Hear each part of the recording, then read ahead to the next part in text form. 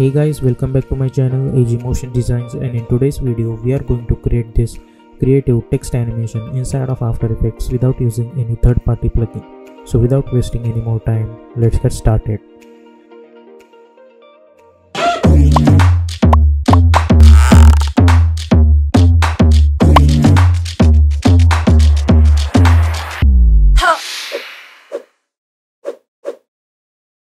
So here we are in After Effects. Now let's create a new composition. I'll call it as main animation. Width is 1920, height is 1080, frame rate is 30, duration is 2.30 seconds. And for the background color, I'll choose solid black and hit OK. Choose grid and guide option and hit title safe action. Now I'll select my text tool and I'll type on text C over here. Select this text press Ctrl Alt Home to align that anchor point to the center. Go to the Align tab, align it horizontally and then align it vertically. Now whenever you are going to type this text, make sure that you are using the lighter version of the any font you want and you should add fill and stroke both of them with same color and for the stroke width I'll choose one over here. Now press V for selection tool and I'll drag my text over here hit ctrl D press P for position and I'll add 200 in it just like this. And we will follow the procedure several times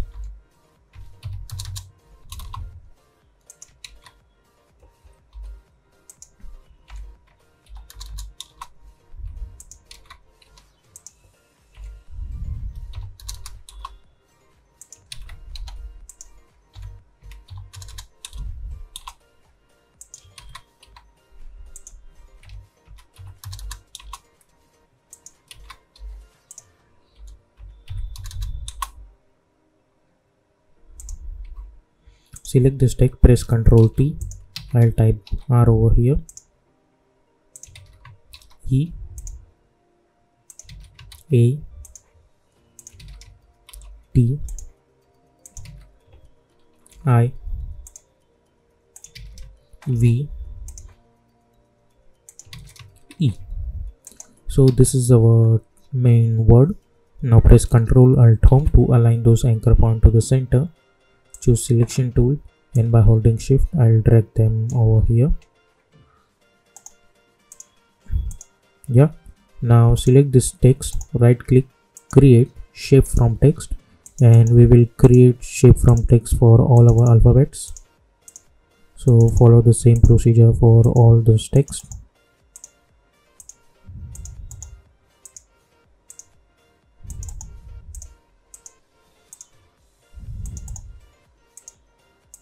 yeah. Now we don't need those text layers anymore so i'll delete those text layers. The only thing we need over here is this thing. So now after that first thing we will do hit p for position property. Select this position right click separate dimensions. Select this one and again and go follow the procedure for all their position properties. So it will create a two separate options for x and y position. Just like this select those text press p and by holding shift i'll drag it at the top and i'll create one position keyframe on the y position and x position. Zoom in go to the 4 second let's say and I'll drag those over here. So as we can see we are getting this kind of stuff. Now let's say at 1.5 seconds maybe select all the layers and create one keyframe on the X position and go over here let's say here. Select this layer. Drag it over here. Make sure that you are holding shift. So it will automatically create keyframes on x and y position of them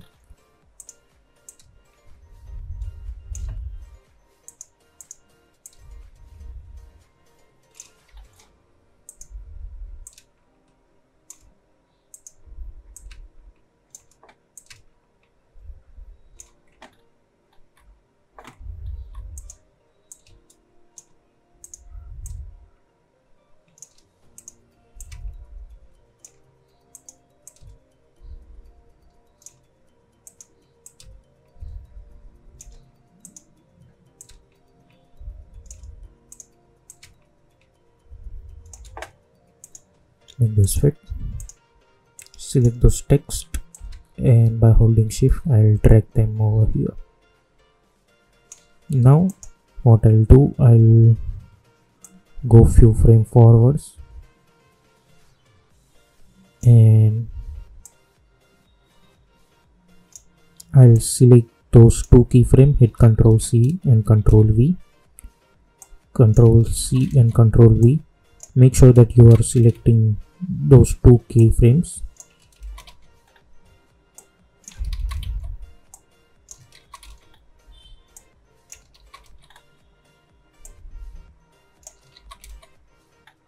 Yep. I'll delete this one. And now select all those keyframes. Right click keyframe assistant or time reverse keyframes. So if we see now we are getting this kind of stuff. Now we don't need any keyframe of y position in middle of this. So I'll delete all the keyframes which are on y position in between them. Or if you want then you can simply by holding alt increase the duration of those keyframes and you can play around with their position if you want. I'll keep them over here. Now select those keyframes and hit f9 to easy ease those keyframes.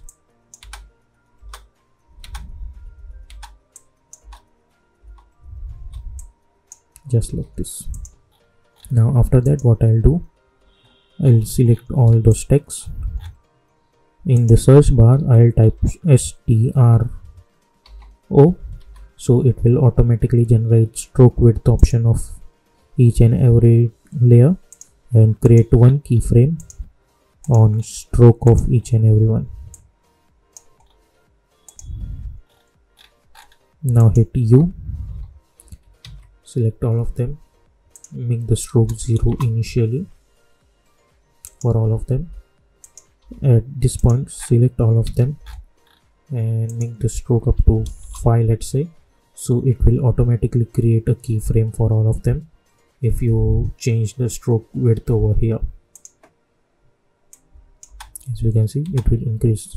If you want to increase a little bit you are free. I'll choose something like let's say 7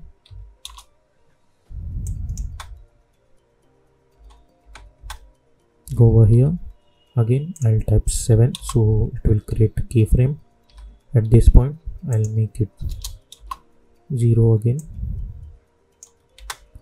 So if you see we are getting this kind of stuff.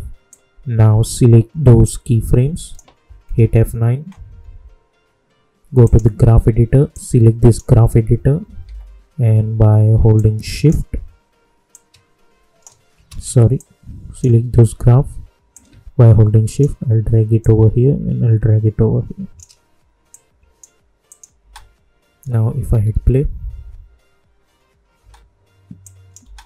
we will get this kind of animation.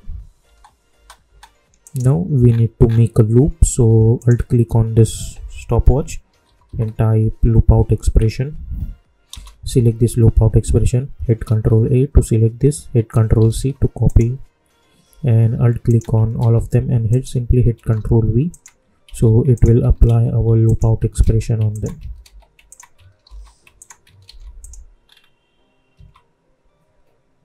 so i'll zoom this. If you want to do this kind of stuff simply hit this escape. Not escape but this i don't know what symbol it is but as you can see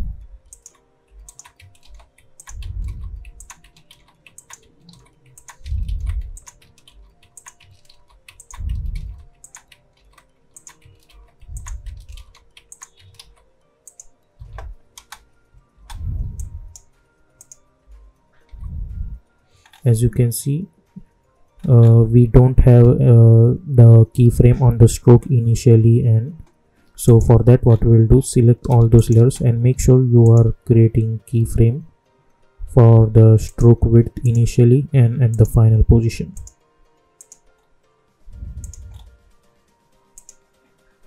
At this point and at this point also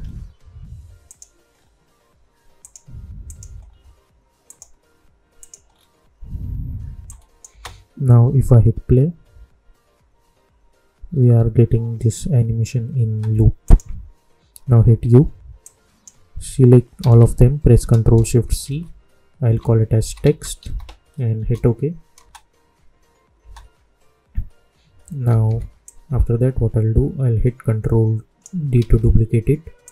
And I'll drag this over here so we can see guess what amount we need to cut this composition so as you can see I think this one is proper. So I'll go over here and I'll delete this one. Now select this text press ctrl D few times. Select all of them by hitting ctrl A alt close bracket to close that composition. Drag this over here. Right click keyframe assistance sequence layers hit ok and we'll get something like this. Now if I hit play you are getting this kind of animations. Now we need some extra layer over here. So we'll adjust that. Then hit ctrl D. Hit ctrl D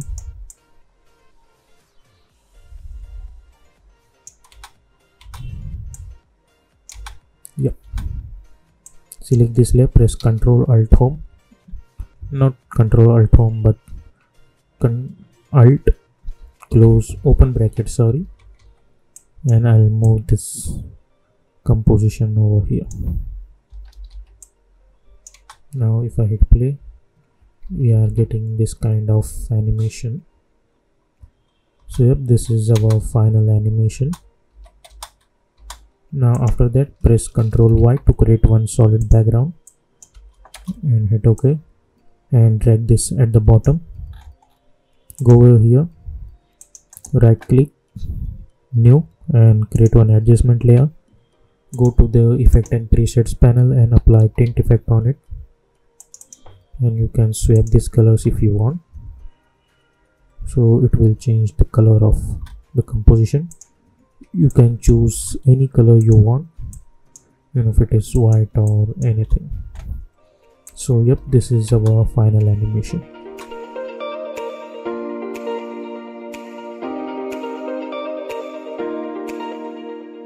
So I hope you enjoyed this tutorial. If you like this tutorial then please consider to subscribe my channel and also hit the bell icon for more updates. Until then stay tuned.